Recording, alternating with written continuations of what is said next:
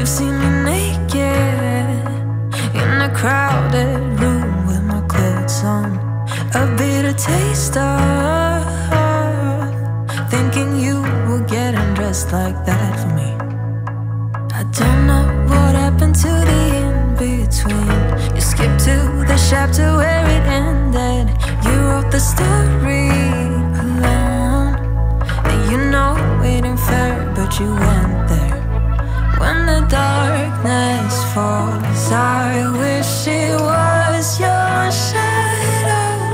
still haunt